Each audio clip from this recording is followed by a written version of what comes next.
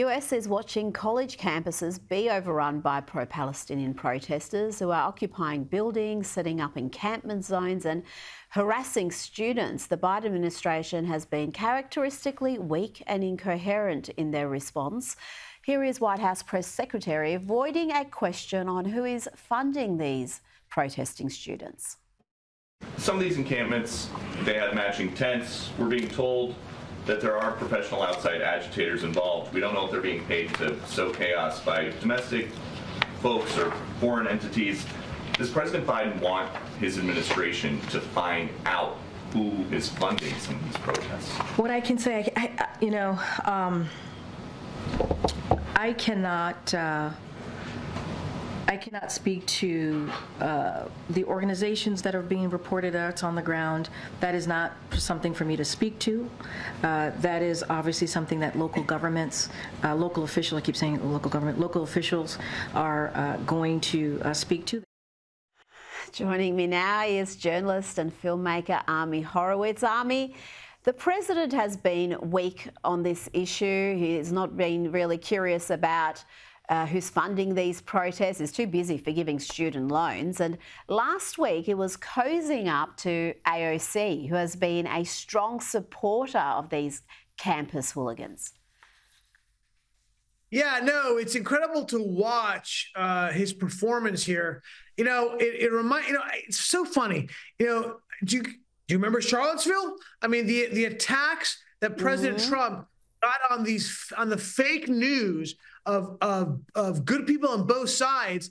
But um, the truth is, uh, President Biden talked about bad people on both sides. So he actually was the real Charlottesville. We talked about how there are bad people in encampments. That's true. And the people who are battling these terrible people, the Hamas supported the encampments, were also bad people. Yeah, that moral equivalence is disgusting. No, he's been terrible in this issue. He has not gotten involved. And frankly, there's been talk about federalizing um, the National Guard to get rid of these uh, protesters. Mm.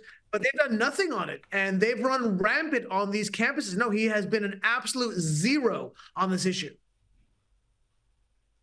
Now, you were yourself assaulted uh, viciously by multiple people when visiting the City College of New York. Uh, you were just carrying an American flag peacefully, not saying a word initially, but let's have a look at what happened. American! American! I'm an American. Hey, hey, you guys flag! Oh, don't hit me! You get out of here! No, get out of here! No, I'm not. Get out of here! Get out of here! Hey! You ain't going nowhere! You ain't going nowhere! This is property. Leave. No, leave. Hey, don't hit me. Don't fucking hit me. Don't hit me, mother. Get the off me. Get out! Are you gonna hurt me? Get out! You gonna attack me? I'm not scared of Hey, you gotta. I'm gonna get. Don't choke me. What the? I'm a American. I want to go to campus. You can go to hell. Stop. Yeah, man. I'm not leaving. You can punch me all you want. I'm not leaving. حبيبي حبيبي Hey, you just choke me? اقتلع Get off of me. اقتلع Choke me? اقتلع Choke me? اقتلع اقتلع He's bullying me, mother. Stop, yo, what the hell is I'm your not problem? fighting. Uh, tell us what happened there. Uh, did anybody come in and defend you? Was anyone arrested for manhandling you, pushing you? Uh, and are you okay? We finally got to me, Rita. We finally got to the issues that I want to talk. Yeah, look, um, it was look. The the idea was behind this that this issue really ultimately, Rita, is not about Israel. Israel is a MacGuffin for those who are film buffs understand that reference to MacGuffin. It's not about Israel. It's really about Western ideals and the United States as the representative of Western ideals, right? So how do I prove that?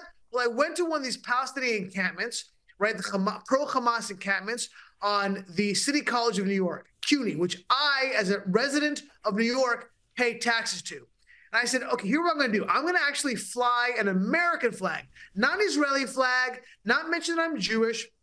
I'm simply going to fly an American flag and not say a single word. What happened? The moment my flag came out, they engulfed me. They viciously attacked me. They kicked me. They punched me. They choked me. They threw me down four flight, four, four stairs. Um, the reality is that they really hate America, Rita. Israel is just a byproduct Yes. of that. Hate America because ultimately they look at America as the again, it's all intersectional, it's all Marxism. They say if you're in the top of the pyramid, the economic pyramid, you only could have gotten there by stepping on the necks the necks of the oppressors below you, right? That's their theory of economics, the theory of life. And if you look at it writ large, the US, the most powerful nation on earth, therefore they have to have gotten up there by by by uh, abusing the oppressed. If you take it the atomic level, that's why they hate rich people because you only could have gotten there by stepping on the necks of people below, the poor people. Well, they look at Jews, that's why they're anti Semitic. They look at Jews, they say Jews are the most successful subset. Therefore, Jews only could have been successful by oppressing other people. It is simple as that, Rita. And that's why I did the experiment. Oh, Uh, I've been saying that all along. I'm so glad you said that. These are the, the, the same mob we see at other anti West, anti American, anti Australia protests. They're against Western civilization. They're open about wanting to decolonise.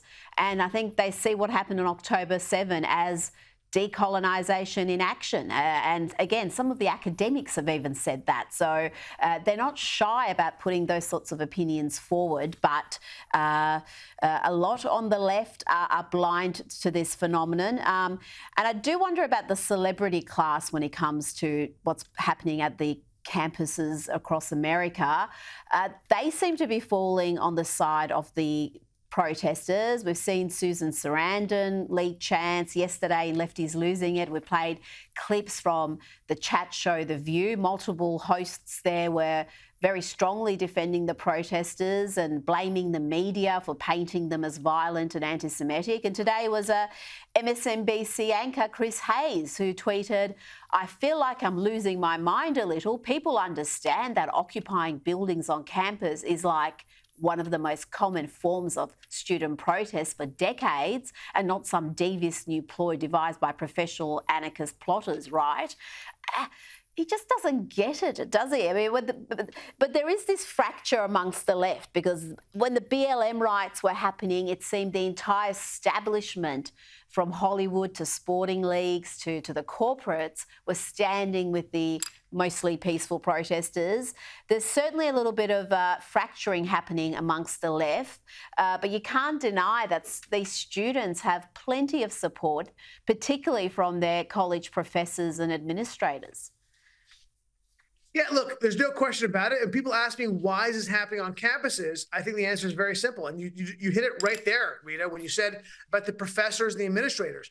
Look, this is no secret that the the the the the professors, uh, the school itself, the administrators, they've been pushing this garbage for years, Rita. It's garbage in, garbage out. How are we surprised? Of course, if you have a student that comes into as a freshman on a campus, now, unfortunately, they're not really instilled with values by their parents, so they come in as empty vessels. And what do they do? They listen to these professors day in and day out talk about the oppression of Israel, the oppression of the United States. This is nothing new. This is stuff that was taught to me when I was in school. I'm sure it was taught to you, Rita, when you were in school. So, of course, how are they going to react to it any differently than what their professors told them? And then all of a sudden, the schools are aghast. How can it be that these students are taking a violent approach? Or if you tell them that the the height of evil is the oppression of people below you, and that Israel and the US are engaging in that behavior, what do you expect them to do? Of course they are. And they engage in violence and they won't allow Jews to attend schools. Could you imagine? I don't have to imagine. We have historical reference when we when when the, when people in the U.S. wouldn't allow black people to go to school, the country went crazy and they should and we created laws to protect them. How is this i don't understand how this is any different rita. You know even more sick and disgusting was i was at the just last night i was at columbia when they were clearing out the the pro-terrorist hamas supporters from the schools and there are all these protesters around there. Now remember the nypd is minority is majority minority. It's a mostly black hispanic uh, police force. And what were these people chanting? You are race traitors. You are disgusting. Use the N word against these police officers who were there.